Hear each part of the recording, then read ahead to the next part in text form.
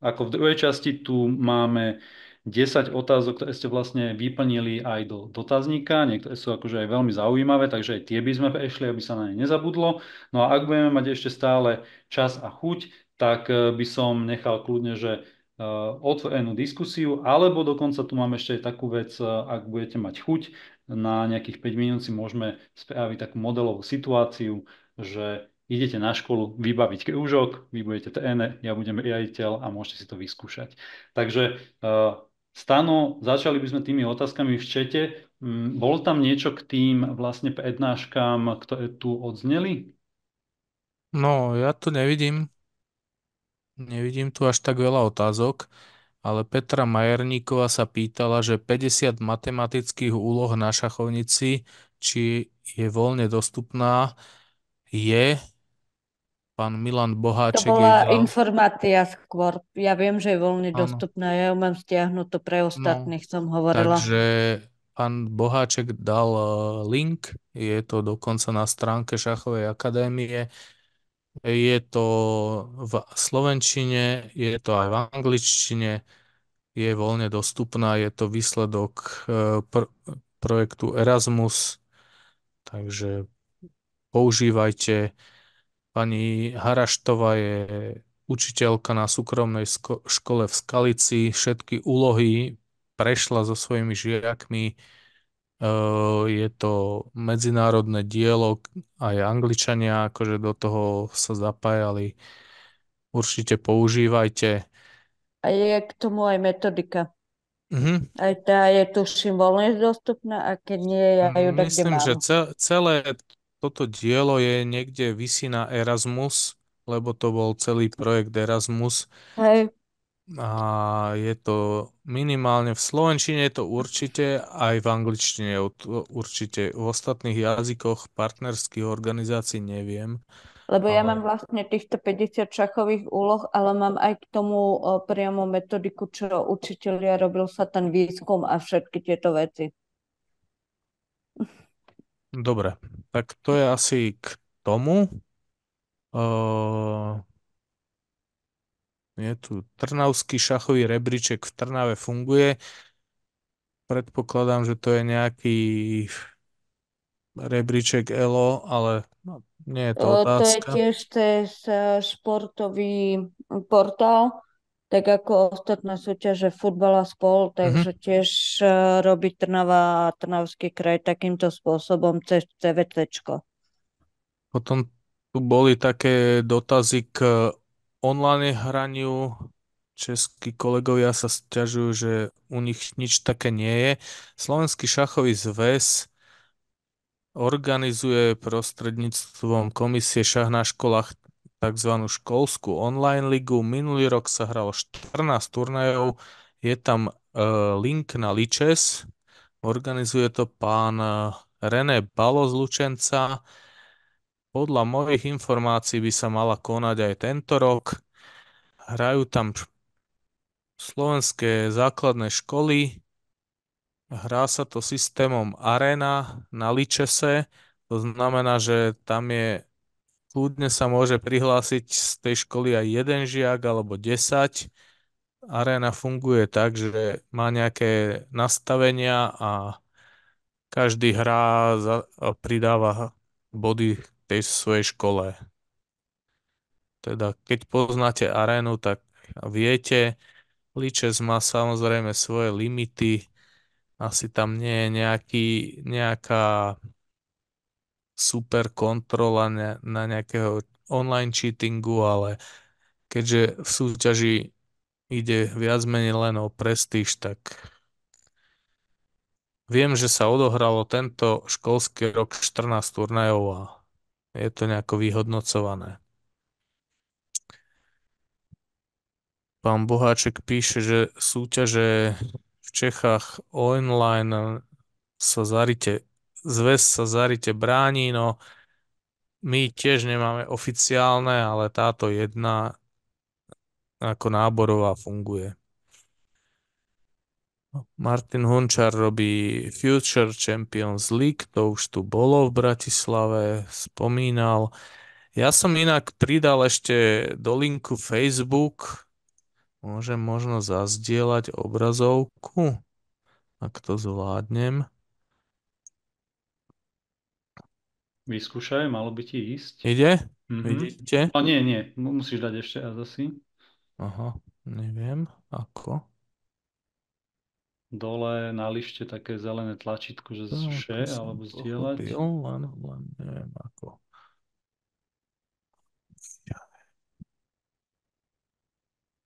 OK. Áno, áno, áno. Ten, túto fotku som chcel, lebo toto je jeden z prvých ročníkov e, turnaja začiatočníkov. Som, som teraz z hodou do keľu. Neviem, či to vidíte. Vidíme, vidíme. Ale asi zlé, no. To je jedno. No, skrátka sú tu traja chlapci, je to fotka z roku 19. oktobra 2017, teda už je, má 7 rokov, viac, no skoro. No a, a títo chlapci akože už sú v podstate jeden je v reprezentácii, druhý je e, silný prvoligový hráč, tretí je člen výkonného výboru Bratislavského šachového zväzu momentálne. Takže za nejakých 7-8 rokov sa nám podarilo z troch výťazov nejakého miestneho turnaja urobiť ako keby lokálne hviezdy. To je Casey Ryan Mesaroš, e, Dano Sompel a... Áno, Campel a Karol Paluska. OK. Uh, PT, PP má otázku. Ešte len, uh, PT, musíš si uh, aktivovať mikrofón. Už by to malo byť. Áno, počujeme. Ahojte, dobrý večer. Ja by som otočil tú otázku, ktorú som tam pánovi Lučíkovi porad- po, vlastne pohušiel v tom čete, s tým, že možno, že to nie je až tak podstatné, navyše by to bolo strašne dlhé aj z hľadiska vysvetľovania tej pozície, ktorú som ja tu zastával a tak ďalej. Ale možno sa opýtam, ako je možné vôbec urobiť a zorganizovať treba to okresné kolo eh, nejak tak teraz v termíne v rámci v rámci školského roka 2024-2025, aby sa tie postupové súťaže pekne zladili a vyvrcholili v tom decembri, keď som to pochopil, že to už je nastavené. Lebo ide mi o to, že ja som momentálne už v inej pozícii, už som v pozícii učiteľa a tam my sme naražali Mhm. na to, na ten problém, že vlastne nebol ten človek kapacitných dôvodov, proste, ktorý by si to zobral pod krídla. Teraz povedzme, že by som si to zobral, presvedčil by som moje vedenie, že teda poďme do toho, ale to financovanie bolo naozaj veľmi biedné Michal to povedal na úvod tohoto seminára, že práve pán vo Švédsku, nepamätám jeho meno, ale povedal, že to Yes, padne, hej, že, že tam bolo 20 centov na hlavu na žiaka, to je proste šialené málo peňazí. A zohnať sponzorov, to je zase na, na, na, na Takto, ako školské, školské športové súťaže s- by mala riadiť SAŠŠ, to je Slovenská akadémia, če, e, Slovenská asocia- asociácia športu na škole. Ja som tam bol aj pod predsedom, ale už som rezignoval na ten post. Mhm. Existuje, existovalo to, ale či to ešte existuje, to práve neviem. Existuje. Minimálne akože e, oni za, riadia ten portál. Ja teraz v priebehu budúceho týždňa ich oslovím, aby tam zase šach bol. Takže ak sa všetko podarí, tak oni tam ten šach zriadia ten strom súťaží. A potom je na nás, že kto sa chytí usporiadania celoslovenského kola, čo by mal riadiť Slovenský šachový zväz, kto sa chytí usporiadania krajských kôl, čo riadia krajské šachové zväzy a kto sa chytí usporiadania okresných kôl, čo by tiež mali riadiť príslušné krajské šachové zväzy. Funguje to na nejakom zvykovom princípe, to znamená, že minimálne na tie okresné kola vždy to bolo tak, že tí, čo to robili dlhé roky, tak to robia vždy. A keď to chce robiť niekto iný, tak by mal osloviť svoj krajský šachový zväz, u vás je to asi Prešov, že máte záujem, aby ste usporiadali okresné kolo Poprad a, a je to vybavené, hej. Propozície tam vieme zavesiť a školy sa, by sa tam mali hlásiť priamo cez ten portál. mm, možno suma sumarum, Peťo, aby, eh, aby sme to tak nejak zjednodušili, čakať, že eh, niekto akože zostúpi z hora a sa to udeje, to sa nestane. Nie, väčšinou, to už... väčšinou to vlastne robia šachisti alebo nejakí funkcionári z daného kraja, ktorí si to proste mm, dajú vedieť školám a, a, a teda buď nejaký predseda kraja alebo nejaká krajská komisia mládeže proste sa dohodne buď s klubmi alebo s trénermi, ktorých pozná, že, že pracujú na tých školách a jednoducho to spravia. Akože ja, čo sa v tom pohybujem niekoľko, teda x rokov, tak takto to jednoducho bolo a fakt, že čakať, že niekto dojde, že my vám to zorganizujeme, tak to jednoducho... Uh, nie, prepač, Michal, len keď no. do toho môžem vstúpiť. Samozrejme, mám skúsenosti s organizovaním Hej. nielen šachových turnajov, ale všelijakých iných aktivít, veľkých aktivít, tu by sme mohli sedieť hodiny a hodiny, aby sme sa o tom rozprávali. Ale mne ide skôr o to, že vlastne aký je ten kalendár, lebo ja som sa tú otázku spýtal kvôli tomu, pretože deti strašne motivuje, keď oni majú práve nejaký takýto postupový kľúč a na niečo sa pripravujú. Že keď im ja poviem, tak pozrite chápem, sa, teraz bude okresné kolo. Je, je jedna vec, že dobre, my sme si zorganizovali a poviem, mne sa podarilo primátorku mesta pritiahnuť na školský šachový turnaj. Ona bola úplne nadšená, aj tento školský rok. Ja som tam mal taký cenový fond, že dovolím si povedať dnes, že majstrovstva Slovenska majú taký cenový fond, hej, že, že brali decka, Martin Hunčák, fantastická knižka, išla prvé miesto, plus ďalšie veci, 60 eurové ceny, hej, a, a takéto. Takže ako, eh, toto je jasné, že ja keď sa do toho opriem, tak to dokážem zorganizovať, to okresné kolo, lenže aby bola tá náväznosť, a či práve preto znela aj otázka smerom na pána Volčeka, že či, že či to vieme nejako tak potlačiť, že dobre, bude okresné kolo, ale teraz, aby bolo aj krajské. A keď nie krajské, tak víťaz okresného kola by potom išiel rovno na to Slovensko. Ak hej, tak do toho pôjdem, ale ak nie, ak to skončí na okresnom kole, tak to nemá zmysel. Hej. Slovenské kolo bude určite. Uh, zvykovo býva v decembri a termín uh, vypisuje teda Slovenský šachový zväz, je tam nejaký konkurs a um, realita je taká, že proste častokrát sa to rieši v oktobri i v novembri, takže nevieme, či to bude 10. decembra alebo 15. A toto je jednoducho Nie, no, realita. A, a toto je konkurs, ktorý dokonca vyšiel kalendár SŠZ, neviem teda, že či ho máte, ale ja som sa k nemu dostal, takže... Už vieme že... termín? No presne nie, ale no, vieme, je... vieme týždeň. No, tak minimálne vieme. Stačí vieme týždeň a tým pádom Čiže to krajské okresné celoslovenské kolo... kolo by malo byť od 9. do 13.12.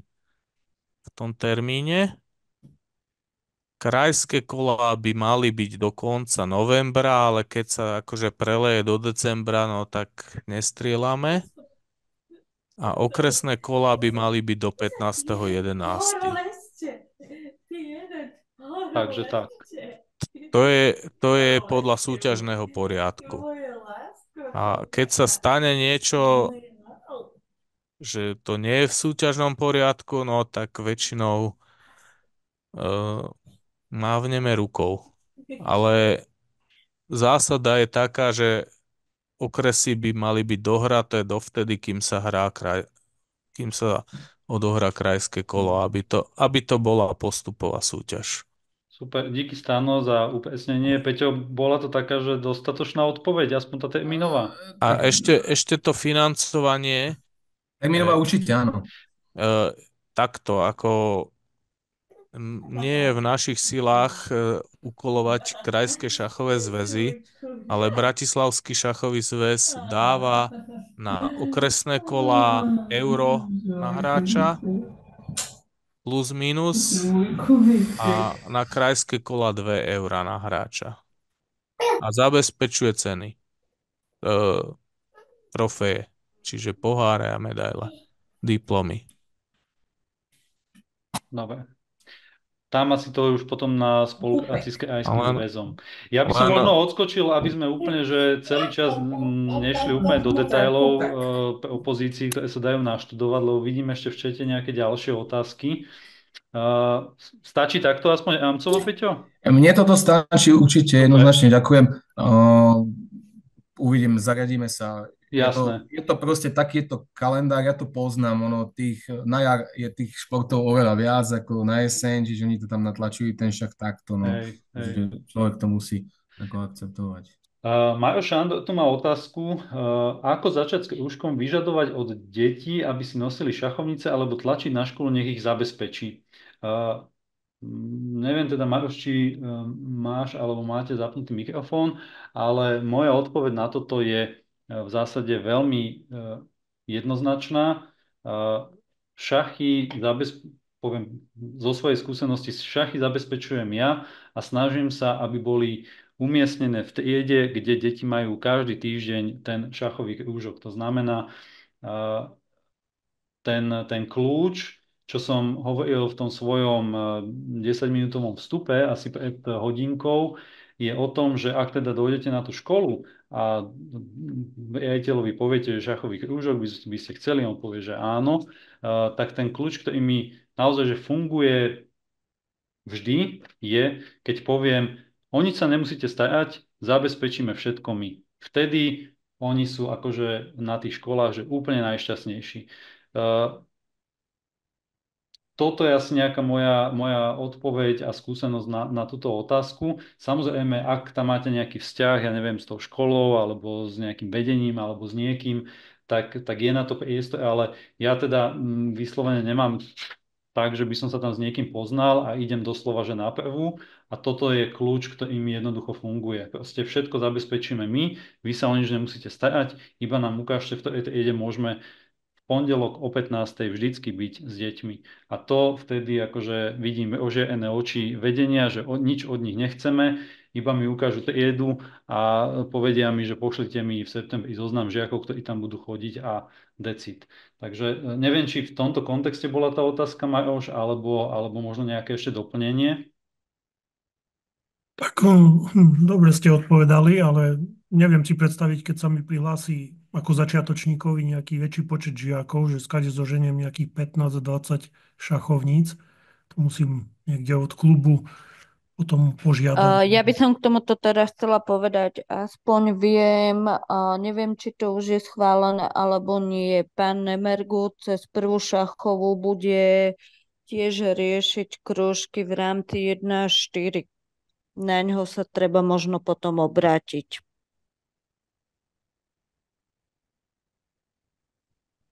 S ním som debatoval, lebo on má ten projekt Šach na školách. Že on mi hovorí, Áno, že áno, ten áno, áno. projekt sa rozbieháva a bude sa nejak ešte navyšovať.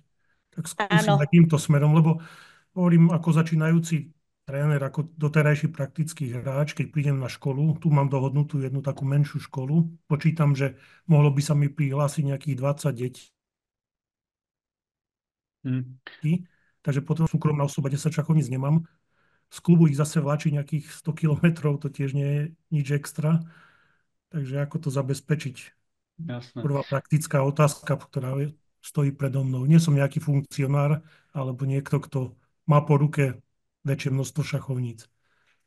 Hovorím, skúste cez toto, lebo malo by sa to rozbehnúť znova tento rok. Aspoň čo mám informácie.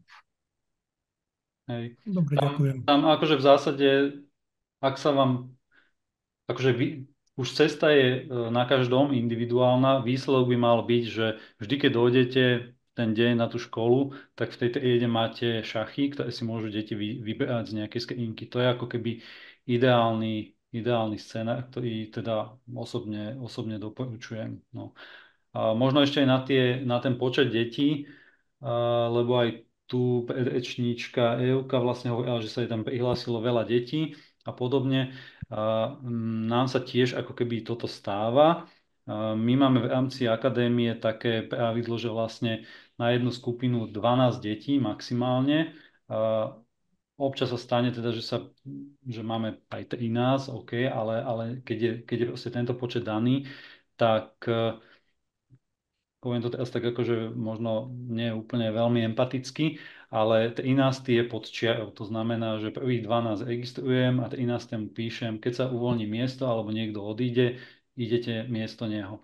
Keď sa prihlási a tak ďalej. Keď sa prihlási povedzme 20 detí, 30 detí, 40 detí, stalo sa nám to, na niektorých školách sa to naozaj stáva, tak potom sa to snažím vyriešiť tak, že spraviť napríklad dve skupiny po 10 alebo dve po 12 a dať prvákov, druhákov spolu, majú jednu hodinu, dokonca im stačí aj 45 minút, nechám si tam 15 minútovú pauzu a potom mám povedzme 60 minútovku a mám tam tretiakov a starších. Ale teda aj z takého ako keby, mm, poviem, že mm, mentálneho hľadiska pre vás ako trénera mať 20-25 detí je akože už celkom, celkom akože dosť. Takže ak máte tu možnosť, že napríklad mať dve hodiny po sebe, tak toto je toto vám ako keby už odporúčam, že, eh, že, že takto asi nejak skúšať. Dobre, Stano, bola tam ešte nejaká otázka, ktorú sme tu nespomenuli, myslím v čete? Teraz sa pán, pán Peter pýta, že či bude zväz organizovať seminár zakončený nejakými skúškami alebo obdržaním certifikátu. Ja som síce do četu už napísal, že asi to tak nebude. V minulosti bolo, tak, bola taká možnosť, že zväz organizoval spol, v spojení s Univerzitou Mateja Bela v Banskej Bystrici seminár, ktorý oficiálne končil nejakým diplomom, na základe ktorého e, získavali oficiálne nejaký titul aj v rámci tých školských vzdelávaní, ale myslím si, že tento rok sa to nechystá. Lebo nebolo to veľký záujem a keď také niečo bude, tak Peťo, myslím, že sleduješ stránku Slovenského šachového zväzu, bude to tam zverejnené. Ja by som sa asi nevenoval tomu, čo bude, ale hovoríme o tom, čo, teda čo bolo, Skôr ale si čo myslím, bude. že nie, ale je to otázka na predsedu komisie CIS, teda šach na školách, momentálne Jano Kocúr. Mm-hmm. OK. Ja, ja práve myslím, že možno, možno tam teda niečo sa veľmi chystá, lebo aj to, čo som aj ja nahrával, Eh, bolo, bolo 12 pre, prednášok v celkovej dĺžke, možno 8 hodín a to bola proste požiadavka Slovenského šachového zväzu a ja som nebol jediný, to bolo niekoľko ďalších ľudí oslovených, takže tam má byť nejaká trénerská škola akéhosi stupňa. Ale je to znova... No, tam sú v podstate dve, dve veci. Jedna je nejaká taká odborno-športová, ktorú zabezpečuje univerzita, a druhá polovička je šachová. Hej. Čiže vy ste asi riešili tú šachovú, a... ale potrebujete obe. A... Na získanie toho certifikátu. Hej. No, uh, díky stanu za doplnenie aj Martin za tie, za tie semináre. Asi by som teraz nefilozofoval, že či bude, nebude, ale keď bude, tak to už bude zverejnené niekde na ČSSK alebo ZVS o tom bude informovať.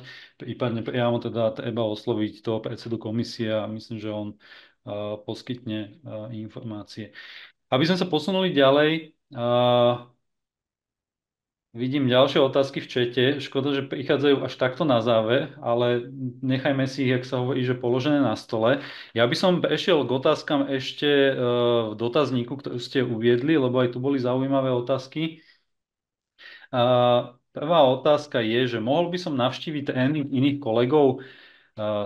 To je veľmi inak dobrá vec. E, ja by som aj odporúčil takú vec, že my to robíme aj v akadémii, alebo ja to teda zvyknem robiť v akadémii, že určite áno, je to, ak sa viete dohodnúť s niekým, o kom viete, že už vedie šachový krúžok a sa s ním dohodnete, že ja neviem, pôjdete s ním jednu hodinu, pomôžete mu, tak som presvedčený, že vám nepovie nie. My napríklad v akadémii to robíme tak, že, že ak sú tréneri, ktorí sú nazvem tak, že ešte úplne nerozhodnutí a chcú si to vyskúšať predtým, než ako keby majú mať celý rok jednu svoju školu, tak e, vlastne im dohodnem zo pár hodín na rôznych školách s, s rôznymi trénermi a vyskúšajú si celý ten proces od prídenia na školu, vyzdvihnutia detí, vedenie hodiny až po záverečné upratanie a odchod, takže aby oni vlastne naozaj vnímali celý ten proces a tým pádom si to, si to, si to omakali. Takže odpoveď, ak toto by vám pomohlo, tak odporúčam ja tiež, keď som začínal, tak som takéto príležitosti vyhľadával. Výmena skúseností s ostatnými trénermi, na to sme tu. Tretia bola, že typy, ak motivovať deti pri tréningu, aby pri tréningu vydrželi po tom, čo opadne počáteční zapálení. V klubu máme také problém, že deti u šachu vydrží na, na prvním stupni z š, od druhého stupne 11 a 12+, plus, ale zájem o šach opadá. To je pomerne bežný jav, lebo jednoducho príde puberta, prvé lásky a všetky tie veci s tým spojené, takže to si netreba ako keby nejak pripúšťať e, k srdcu. E, čo mne tam napríklad funguje, aby som tie e, deti v tom tínežerskom veku tam udržal, je to, že v podstate také, také dve veci by som povedal a súvisia so sebou, aby v tom krúžku, kde chodia, boli, bola vytvorená vlastne dobrá atmosféra, aby tam oni mali kamošov, aby tam nechodili kvôli že, že mne, alebo ja neviem čomu, ale že baví ich šach a keď aj ne, ne, z nich vidíte, že nebudú vyslovene nejakí majstri, aby tam oni mali kamošov. A keď tam budú mať kamošov, tak tam oni budú vlastne chodiť. A uh, pomerne často sa mi aj stáva v tom veku okolo 11-12, že jednoducho si dajú rok, dva pauzu, lebo proste iné záujmy a tak ďalej. Ale pokiaľ vy na začiatku naozaj ich inšpirujete tým šachom, tak eh, mne sa častokrát stáva, že vlastne potom v pohode v 14-15 napíšu, môžem sa opäť pridať do tréningu a pokračujú ďalej. Takže uh, netreba s tým ako keby bojovať, skôr hľadať uh, ten, ten zámysel, že prečo by tam oni mohli chodiť, no preto, že tam budú mať svojich kamošov a s nimi budú ako keby dobrá partia. Ako motivovať záujem u žiaka, ktorého na krúžok natlačili rodičia? Veľmi dobrá otázka, s ktorou sa stretávam tiež, nechcem povedať, že často, ale stretávam sa s ňou.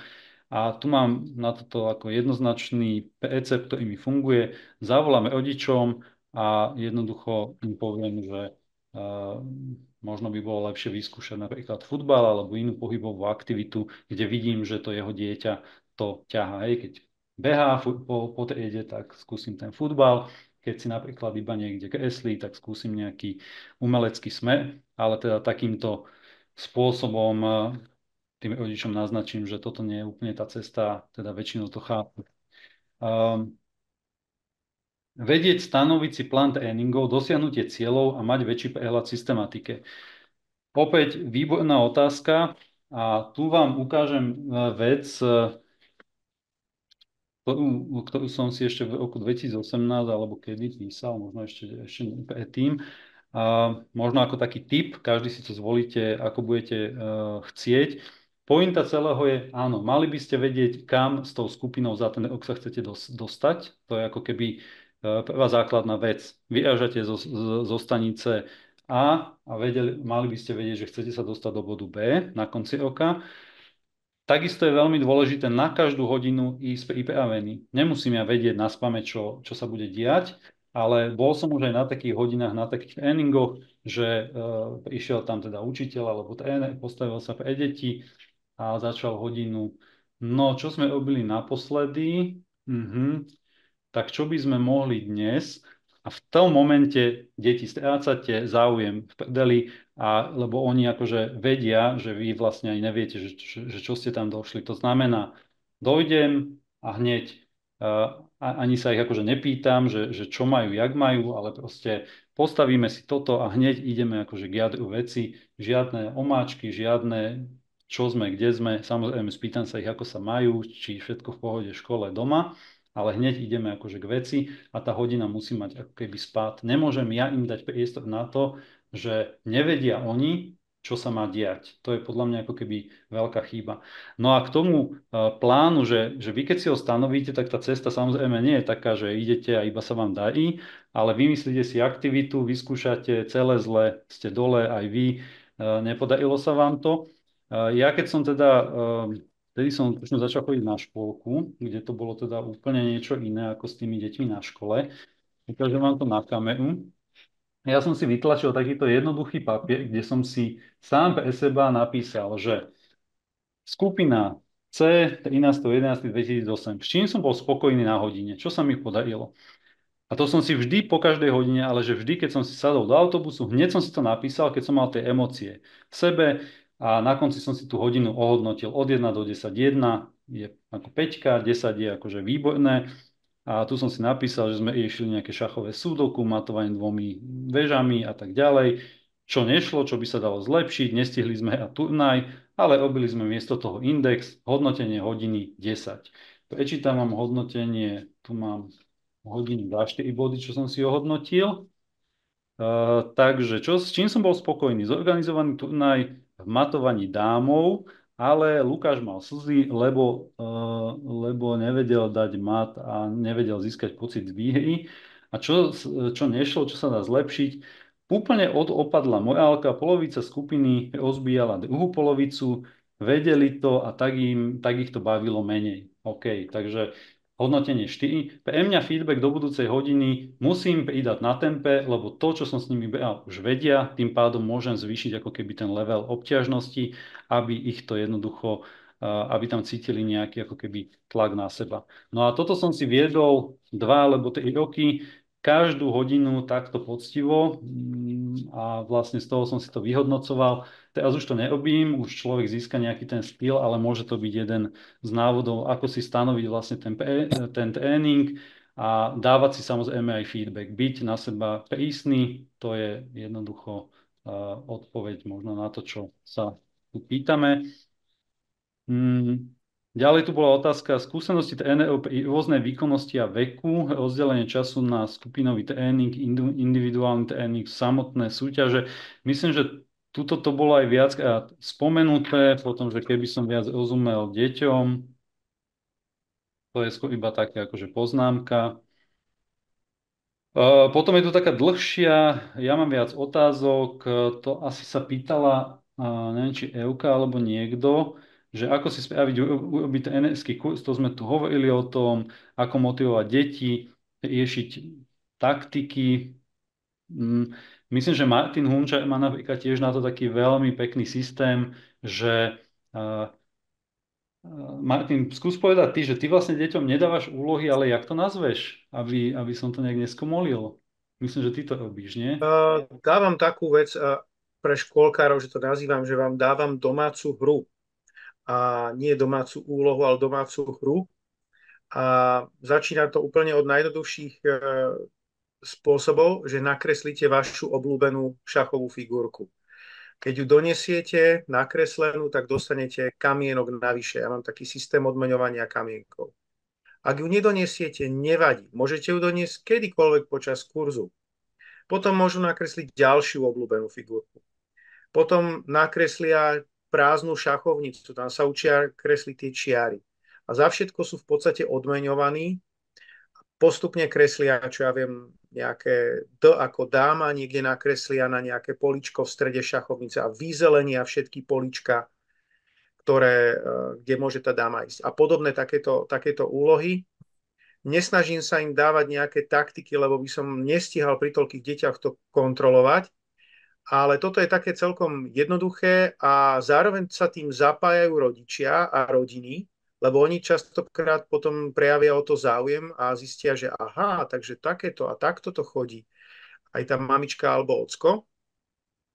No a potom eh, pre mňa aj tie, tie už takých pokročilejších ja úlohy nedávam, sa snažím maximálne motivovať tie deti v tom, aby ich to zaujímalo a keď to ich zaujíma a pýtajú sa ma, tak ja im potom dávam linky. Toto je dobrá knižka na koncovky, toto je dobrá knižka na taktiky. A, a, a potom, keď oni sami chcú a študujú, tak ten ich, ich progres sa ako keby dostaví. Ale to teda nehovorím, že to je jediná metóda. Sú tréneri, ktorí vyžadujú domáce uh, úlohy a majú výsledky, takže to prosím berte s rezervou. To je, to je akurát ako keby môj systém, ktorý ja, ja v tomto mám. Ja to možno aj nadviažem na otázku Ondra Dlugoša. Tam si spomínal, že si aj niečo kreslia, takže on to mal, že či používame omalovánky. ale že, že deti si zbierajú nálepky, otáznik. Uh, áno, v podstate Martin to aj spomenul, on využíva taký systém, že má nejaké také malé ako keby minerály alebo kamienky, vyslovene maličké a deti, keď splnia nejakú buď úlohu alebo aj vlastne na tých, na tých mini turnajoch, alebo na tých začiatočníckých turnajoch, aj keď prehrajú, tak vlastne vždy dostanú nejaký jeden ten mini kamienok, oni si ho schovajú, tešia sa, lebo síce prehrali, ale vlastne niečo získali, takže nemajú uh, v sebe úplne tú um, negatívnu emóciu, s ktorou veľmi ťažko, hlavne tie menšie deti ešte, ešte pracujú. A či to budú kamienky, nálepky, alebo pečiatky, alebo čokoľvek iné, je to ako keby na vás, ale ten mechanizmus, že niečo zbierať e, je určite určite fajn. Ja napríklad používam zase také, volá sa to, že šachový index, možno niektorí ste to počuli, možno nie, ale je to vlastne ako keby, mm, predstavte si to ako žiacka knižka, ktorá má 8 levelov, je to vlastne postavené na princípe normálne nejakej počítačovej hry a level 1 je, že je tam 10 úloh v zmysle uh, viem ťahať kráľom, viem ťahať pešiakom, viem ťahať tým a tým. Level 2 viem, čo je mat, viem, čo je, viem dať mat dámo a tak ďalej. A tak ďalej to ide.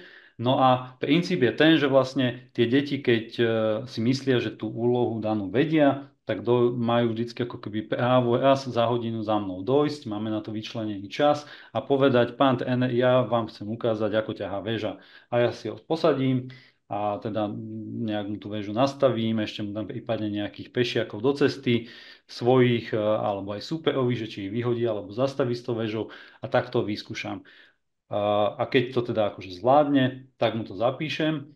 A keď to nezvládne, tak sa dohodneme ako keby, že na ďalšiu hodinu. To je tiež taký ako keby princíp toho, že nedávať, nedávať zlé hodnotenie, ale ale dať vlastne, že keď to nevie, tak nedať žiadne hodnotenie, keď to vie, tak vlastne dať mu buď to dobré hodnotenie, alebo pochvalu, alebo čokoľvek, čo máte. Hej, to znamená, že uh, deti budú namotivované na to, uh, čo im budete ako keby, uh, čo od vás pôjde. Keď im poviete, že toto si zle spravil a nevieš to, tak samozrejme, že u nich sa to zafixuje a budú z toho frustrovaní. Ale keď im poviem, že OK, chod túto za Joškom, ešte si to s ním natrénuj a dojdi na, na ďalšiu hodinu, už si to vedel veľmi dobre, ale ešte to treba niekde vyťukať, tak pre nich je to v zásade ako keby taká challenge. A, a veľmi dobre funguje aj to, že keď už sú povedzme na tom leveli 2, 3 a tak ďalej, kde sú už ťažšie úlohy, tak v zásade ja si posadím tie deti všetky okolo toho jedného, čo práve, ja neviem, má vysvetliť ošádu napríklad a on ju vysvetľuje a nie som ja ten, čo to hodnotí, ale všetci ostatní. To znamená, on to povie, kedy sa môže, kedy sa nemôže, ako sa môže a tak ďalej. A ja sa spýtam ostatných, tak čo hovoríte na to, súhlasíte so všetkým, zabudol na niečo, niečo by sa dalo doplniť. A vlastne tu, to, čo by som mal ja v úvodzovkách ako učiteľ robiť, alebo tréner, sa snažím preniesť na tie deti. To je úplne z môjho pohľadu ako keby najideálnejšie. Viete ich do toho vtiahnuť, oni sa cítia dôležito a vy aj šetríte akože svojimi hlasivkami a všetkým možným. Ešte tu bolo, to boli teda otázky z toho, z toho dotazníka, ale ešte tu bola jedna zaujímavá otázka, neviem, či som mu teraz prehliadol, Peter Bielik niečo o mobiloch. Peťo, si tu ešte? Vieš to prípadne povedať, aká situácia nastala?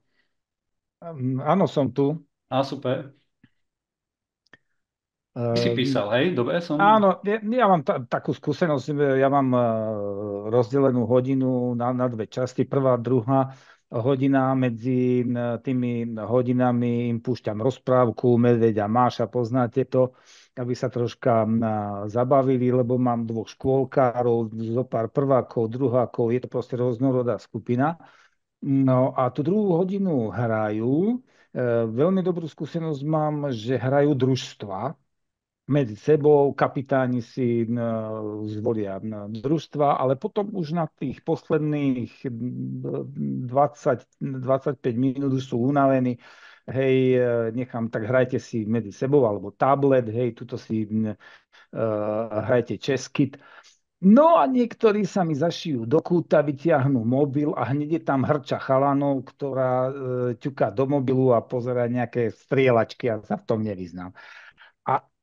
Ja som, ja som tam s pánom Hunčárom e, komunikoval, ja to vzťahujem na seba, že ja som zlý, že ja nedokážem im proste byť tak putavo viesť ten krúžok, aby oni ten mobil nevytiahli. Ale neviem, aké máte vy skúsenosti. Hmm. Toto je veľmi, myslím, že téma, z toho sa musel podľa mňa stretnúť každý tréner. Čo by ste Peťovi doporučili? Ja napríklad v tomto mám trošku výhodu, lebo mám kružok na škole a na škole máme zakázané telefóny, čiže vždycky, keď čo chcú a chcú sa uvoľniť, tak sa ma musia opýtať. A väčšinou im nechám pár minút, nech si zahrajú, čo chcú, lebo aj logické vety hrajú, sudoku mi hrajú, hoď čo. Ale potom sa vrátime k šachu, alebo ich vyťahnem von, zoberme loptu, to ma ťahajú aj oni sami, že poďme si zahrať futbal, lebo polovičku mám futbalistov a ja tiež inklinujem futbalu, takže ideme si zahrať na chvíľu futbal a takto striedam trochu aktivity. A k tým mhm. telefónom keď by hrali niečo, čo im pomôže v rozvoji logického, by som ich nechala. Áno. Ale čo sa týka takýchto vecí, skúsiť ich stiahnuť možno do toho šachu viac, alebo nejakú inú aktivitu spoločnú pre nich vymyslieť. Jak ja, ideme von, zahráme si futbal, volejbal. Neviem. To je môj názor. Ďakujem. Máte ešte niekto nejakú uh, skúsenosť, alebo čo by ste možno na túto tému poradili? Ja môžem povedať za seba, samozrejme môžeme mať v tom rôzne názory, ale podľa mňa, keď už je teda to ten tréning naživo a sme niekde v triede, tak nech si deti maximálne užijú ten, ten, aj ten sociálny kontakt medzi sebou. Takže ja som, čo sa týka mobilov, v tomto striktný. Iné je, keď sa napríklad dohrá nejaký turnaj a deti idú na obed a tam si chytia do ruky mobily a analizujú si partiu. To je, to je v poriadku. Chcú vedieť, čo sa hrálo a tak ďalej. Ale pokiaľ je to proste vyslovene nejaká 50-minútová hodina, 45-minútová hodina, tak, tak ja, keď je s tým problém, viem, že je nejaká trestný problém, tak ja dopredu poviem, že keď uvidím u niekoho v ruke mobil, tak ho hneď beriem a vraciam až po hodine. A tie deti, ktoré k tomu inklinujú, tak sa hneď zlaknú a ani ho fakt nevytiahnu. Takže, takže toto je taký môj, môj štýl, aby tie deti si maximálne užili aj samých seba, kamarátov, lebo keď sa začnú zašívať pri mobiloch, tak uh, už to ani vy nemáte šancu odkontrolovať, či tam hrajú šach alebo nejakú bojovú hru a tak. Uh, celá tá hodina sa ako keby trošku rozsype. Takže ja som skôr za taký striktnejší postoj, čo sa týka tohto. Mm-hmm. Stano? Ja by som sa možno skôr chcel aj Peťa spýtať, lebo tu naznačil, že ešte funguje stále Learning Chess. Teda, že či No, naozaj funguje, lebo e, Peter bol jedným z hlavných prekladateľov no áno, a, n- a to sú, súvisí možno aj s tými mobilmi. No Learning Chess n- funguje, licencie sú stále k dispozícii. A je, pán Hunčar tam spomenul videá, ktoré robil pre Slovenský šachový zväz ako také tréningové inštruktážne videá a ja robím práve Learning Chess na základe pokynu alebo teda požiadavky od Jana Kocura. No a v tom e, Learning Chesse, aj to som dal tu do, do četu, že sa spomínali matematicko-didaktické hry, a Logic Board, ktorý je zakomponovaný v Learning Chesse, je, je tam na elektronickej báze. Je to tam tiež urobené, takže aj, aj toto sa dá využiť. Ale ten Learning Chess, on má svoje plusy, mínusy.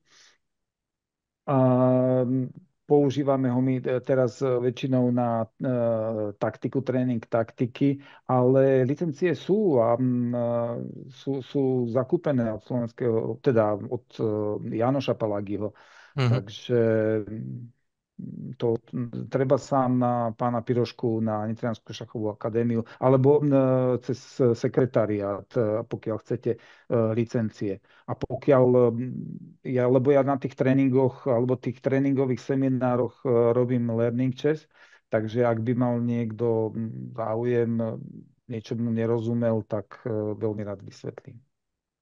Mm-hmm.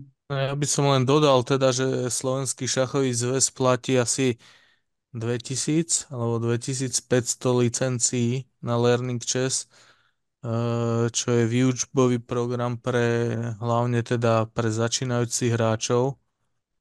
A málo sa o tom vie, málo, málo sa to využíva, ale kľudne akože napíšte na sekretariát alebo priamo teda Arpádovi a on vám sprístupní licencie. Je to teda uh, manažovateľný systém pre vedúceho. Myslím, že tak pomerne profesionálny a mm-hmm. Dobre, super. To bolo pekné premostenie. Ja sa ešte vrátim k tomu mobilu, čo si sa pýtal a iba sa prikloním k tomu názoru Martina, lebo nevidel som, že by ešte niekto sa k tomu nejak chcel vyjadriť, ale ja som tiež tomto akože veľmi striktný a hlavne u tých, poviem, že je 10-11 plus, tam normálne vezmem tú škatulku od hodín, alebo ja neviem, proste hoci čo na katedru a poviem, že všetci tam odložte mobily a hotovo. Akože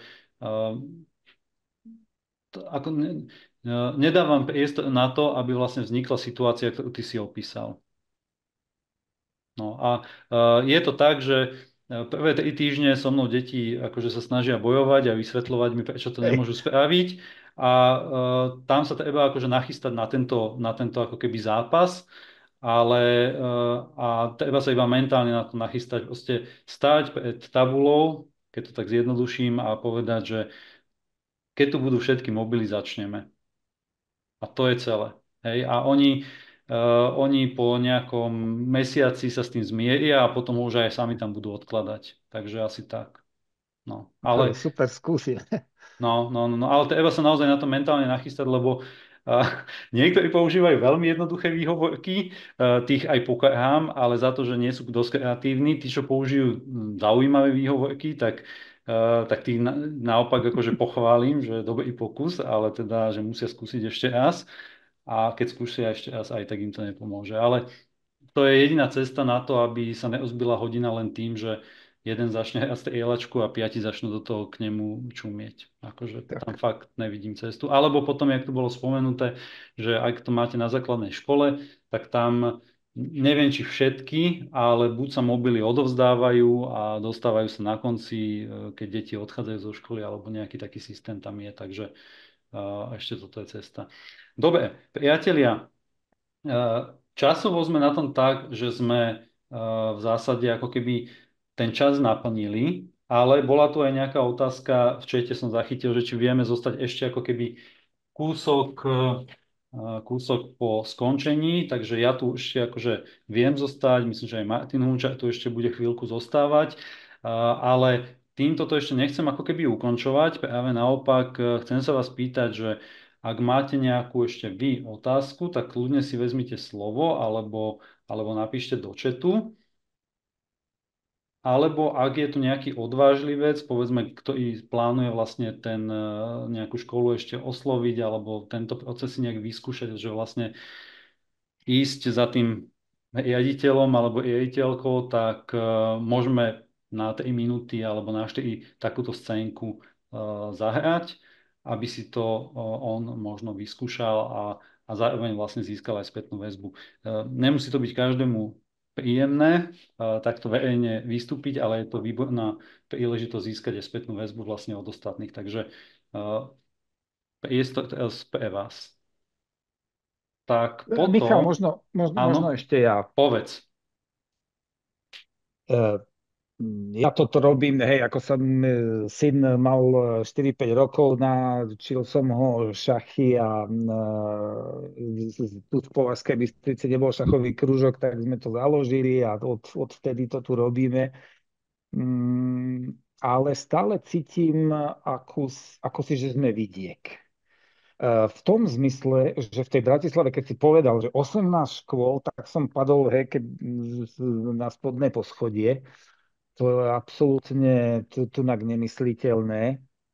A robíme tie, tie kružky tunak e, v podstate mi to robí asi 4 a 5 ľudia, ale robíme to totálne zadarmo. Absolútne mi, to, to nie je šanca, aby sme získali aj peniaze, aby som ja, ja ne, keď si povedal, že teda ísť za riaditeľom školy a že za, urobím krúžok a že uh, donesiem si aj šachy, aj hodiny. Ale dá mi niekto nejaký peniaz za to, že, že to robím. Takže to všetci robíme na, dobrovoľnej e, báze, ale predsa už, už koľko razy sme si vraveli, že to musíme ísť povýšiť na profesionálnu úroveň, že to proste je práca akokoľvek iná, že by sme mali byť nejakým spôsobom ohodnotení. Lenže tunak na tom vidieku ja cítim, že tu sa to proste nedá a máme naozaj, naozaj almužnu za to, keď, keď nie je úplne nič. Um, začnem možno úplne od začiatku, že aby si, um, aby si možno sa necítil v tom tak sám, alebo aj niekto z vás, ktorý máte podobný problém, ako, ako Peťo opísal. Keď sme začínali, tak e, prvé 4 roky to bola možno jedna škola, alebo dve. Prvé dva roky uh, som pracoval tak, že prišli tri deti do krúžku. Akože uh, začiatky boli naozaj ťažké.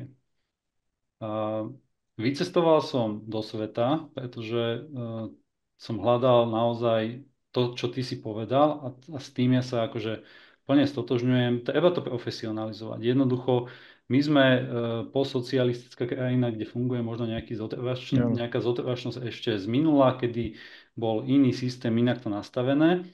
Ale keď som sa bavil s ľuďmi z Anglicka, z Indie a podobne, všade je normálne, že keď, keď poviem akože ten úplný základ, že vlastne rodičia zaplatia za ten krúžok za nejaký pol rok alebo rok. A keď len toto e, ti zaplatia nejaký, vymyslí si 100 eur alebo koľko, tak zrazu máš zdroj na to, aby si dokázal kúpiť šachy, kúpiť hodiny, spraviť nejaký turnaj, dať im nejaký diplom a dokonca ti ešte aj niečo zostane. A, a ja ti a ja som tiež akože na začiatku veľmi ako keby váhal, ale proste keď som sa bavil o tom s ľuďmi zo západu, ktorí s tým majú nejakú takúto akože profesionálnu skúsenosť, tak ma to utvrdilo v tom, že, že treba to skúsiť. To znamená, ako k tomu pristúpiť, že, že či si niečo vypýtať, treba s tým jednoducho začať, vyskúšať to, ne, nebáť sa toho, nebáť sa toho. Ja som presvedčený, že tí, čo chcú, dojdu, pretože skús ísť, e, skús sa ísť pozrieť, ja neviem, na nejaký hm, hokejový štadión alebo možno nejaký futbalový tréning alebo niekde. Ja som to naozaj spravil, že som si obehal túto len, tiež my sme na takej bočnej dedine pri Bratislave a som si obehal takéto, nazvime to, že športové kluby, ale z iných odvetví a tam sa platí mesačne toľko, čo akože ja si, e, alebo akadémie tie deti platia za rok a, a funguje to. To znamená, že uh, samozrejme v každom kraji to môže byť iná čiastka alebo niečo podobné, ale mm, tí, čo naozaj chcú, tak na to nájdu tie financie a šach má tú výhodu, že naozaj tam nie sú nejaké že extra náklady. Tam nie sú extra náklady pre tých rodičov alebo pre tie deti. Jedine, že keď budú už, ja neviem, chcieť vycestovať 100 km, tak si musia nájsť na to čas alebo na benzín a podobne. Uh, to znamená, eh, ja čo ti môžem odporučiť z vlastnej skúsenosti, že naozaj eh, nebáť sa toho, eh, vykročiť možno tou nohou do neznáma, nastaviť si, nazvime to tu nejakú cenovú politiku alebo niečo, čo tebe bude dávať zmysel, aby si vykryl počas toho roka, že úplne, že všetko a ešte aj tebe zostane, ak sa hovorí, že na pivo. To je optimálny scenár a nie je na tom nič ako keby ani z môjho pohľadu nemo, nemorálne, ani zlé, ani nejaké. Naopak, ty budeš tým deťom uh, a rodičom vedieť poskytnúť oveľa lepší servis ako doteraz. O tom som akože na 100% presvedčený. Dobre, ďakujem. Ak môžem, možno len dodám dve, tri vety k tomu, čo Michal povedal. Úplne s tým súhlasím. A, a je tam potom aj tá otázka, že ako to prezentovať e, či už tej škole alebo tým rodičom, aby videli, že pozor, my robíme niečo pre tie deti, čo je fakt veľmi užitočné. Tu sa nejedná o to, že oni sa môžu stať len šachisti, ale ja to prezentujem aj tej škôlke, kde idem, že je to príprava pre školu. Tie deti sa zlepšia v schopnostiach, e, rozmýšľania, motorických schopnostiach, a mám proste na to celý systém, ktorý píšem aj tej škôlke a dokonca potom aj keď eh, píšem tým rodičom, tak oni vlastne vidia, že tam je aj učebný plán, je tam aj to všetko, tie benefity, ktoré oni, a to nie sú moje výmysly, to sú na tom boli správené vedecké výskumy, ako šach napomáha. A toto je dneska, čo rodičov oslovuje. A oni, aby potom nedali 50 eur alebo 100 eur, keď majú, majú možnosť Eh, aby ich nejaký tréner učil ich deti a budú potom eh, dosahovať lepšie výsledky v škole. Takže keď oni potom aj tí rodičia cítia, že, že za tým je nielen to, že sa naučia ťahať figurkami, ale že im to pomôže v živote v škole, tak potom môžu aj eh, ľahšie dať nejaké financie.